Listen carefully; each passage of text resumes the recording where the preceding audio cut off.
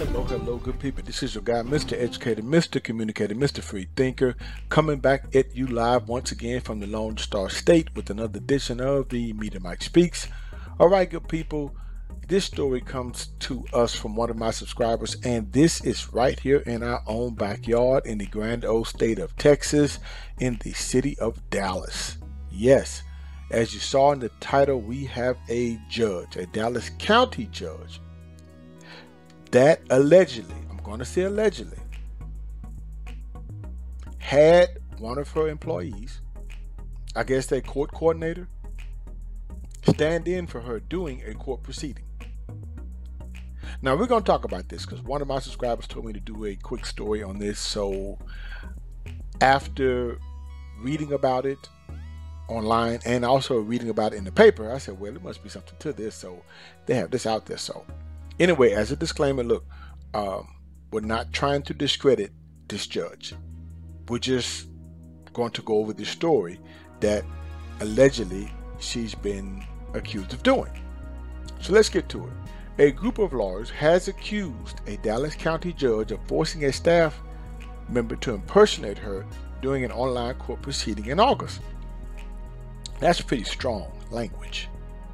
Forcing a staff member to impersonate her? Okay. Hmm. But let's get to this. Let's continue.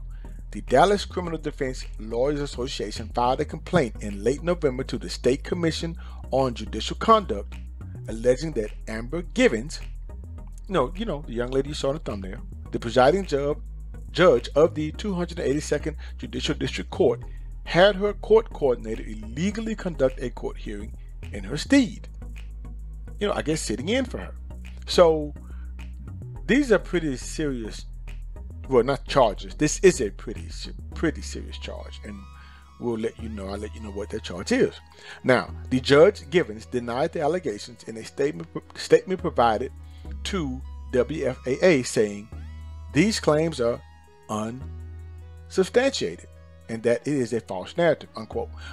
But that concerns me because she's saying it's a yeah these claims are unsubstantiated meaning it's something to it, but it may be it may be a misunderstanding. I don't know. Now, it is the latest of four complaints filed against Givens, all relating to her online behavior and actions during court proceedings since the COVID-19 pandemic began. Now, in November, uh, in a November 16 email obtained by WFAA through an open records request, Dallas County District Attorney John, uh, is his name uh, Creuzot, told Givens that he intended to open a criminal investigation into the accusations. Creuzot's email came in response to an October 22nd email Givens had sent him that said one of Creuzot's prosecutors, Creuzot's prosecutors, was falsely accusing her of courtroom improprieties. Now, it seems to me she was trying to get out ahead of this by contacting the district attorney. Just seems to me. Now, Creuzot declined to comment on any investigation plans when contacted by WFAA.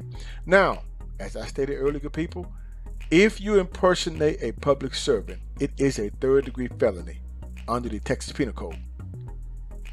So this is what someone faces. And it would be the coordinator. exactly. Because she's the one, are they saying impersonated the judge? Now, the August 3rd proceeding in question was related to reducing the bail for one said Floyd Lee, who was in jail for allegedly violating his probation in a burglary case.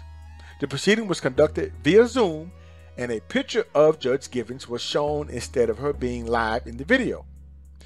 Which is judges are supposed to be live in the video. They, they should. We'll talk about that toward the end. Now, this is according to Amanda Brainer, president of the Dallas Criminal Defense Lawyers Association, which filed the complaint. Now, according to Brandon, they're saying during the hearing, a voice addressed the virtual court and brought it to order by calling it on the record. The defendant and defense counsel then both addressed the voice as Your Honor and Judge. Neither were corrected, I guess, by the voice, the other person on the other end, according to the grievance filed against against Givens. Now, I guess they're saying that when they said yes, you, you a judge, if her assistant or coordinator was on that call pretending to be the judge, then she didn't correct him. She, she let it roll as your honor. Now on the call, Lee Bales Lee's bail was reduced from $100,000 to $25,000 and he was required to wear an electronic monitor once released from jail. Now, per the grievance, after the hearing, the prosecutor reported to his supervisor that they did not believe it was Givens, but rather her court coordinator, Ursula Warfield, who spoke, reduced the bail, and conducted the hearing. Hmm. Now, the prosecutor supervisor then notified the defense attorney of this belief, according to the grievance, which also said that the supervisor spoke with two probation officers and, while doing so, saw a note in the in the probation file that said, "Judge was not present for the hearing." Unquote. Okay. What strikes me as why would they lie? Why would they put their careers at risk? Now, the grievance also noted that the supervisor later tried to discuss the case with the same pair of probation officers, but that they had since been told, oh, but that they had since been told by the supervisor not to talk about the case unless subpoenaed. The Dallas County District Attorney's Office then requested a transcript of the hearing, but per the grievance, the court reporter told them the proceeding was not on the record, as if it was a traffic court. Because good people, if just in case you did or did not know, a traffic court is not a court of record, so you would not have a stenographer there. But this was quite strange. Well, she's saying it was a hearing, but no need to have a court reporter there. I don't know. Now, Judge Amber Given actively controls most aspects of her docket, according to Brannon, as she notes in the grievance. She goes on to say, We do not believe that Given's court coordinator acted independently, but rather at the explicit direction of Judge Givens by requesting or ordering Ms. Warfield to conduct a hearing in her absence. Judge Givens not only violated her ethical duties, but also facilitated a criminal offense, unquote. Well, I don't know. Now, in a statement in her defense provided to WFA, Given said that she was unable to directly log into Zoom because, according to her, she had technical difficulties with the Zoom app. She said she provided her log, login credentials to her court coordinator due to those complications. She goes on to say, My court coordinator placed me on speakerphone and I advised the parties that I would approve the agreement and to make sure that the defendant received the conditions of bond. Unquote. Givens added that since there was no contested issues, the proceeding was not an actual hearing and no court reporter's record was made. This all sounds a little suspicious. Now, Givens has served as the judge of the 282nd Judicial District Court since 2015 and is up for re-election in 2022. No one has yet filed to oppose her in the election. The filing deadline is December 13. Now, it is my understanding that the prosecutors who allegedly accused the judge of not being at the hearing have been reassigned to other cases. Why? Good question. Also, it is my understanding that according to the article, that Judge Givens had her camera off during the hearing, as we talked about, and she just had a silhouette, a picture up there. Things that make you go, hmm. Now I don't know what procedure, uh, uh, what the procedure is as for having your camera off during a court proceeding, but I would think that the judge uh, would and should be cammed up. You know, as to have parties swear in and such. You know. To tell you the truth, this seems fishy to me. Now, I'm not attempting to discredit this young lady.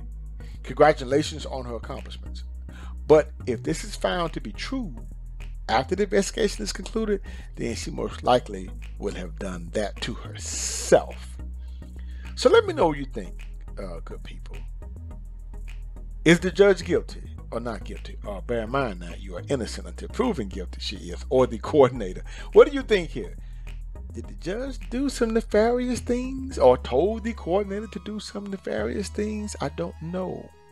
So let me know what you think about this case. Feel free to leave your comments in the comment section below. Until next time, this is your guy, Mr. Educator, Mr. Communicator, Mr. Free Thinker. Subscribe, share, and like to keep me rocking on the mic. Have a good night.